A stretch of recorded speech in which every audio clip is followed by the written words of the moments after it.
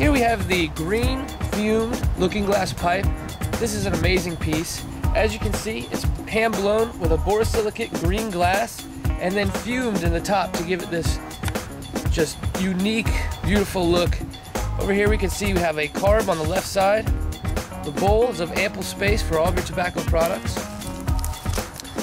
We have a button on the bottom right so that I can sit easily on any tabletop. Show you the mouthpiece. Absolutely wonderful mouthpiece. And once again, this is a 12 inch green fumed looking glass pipe.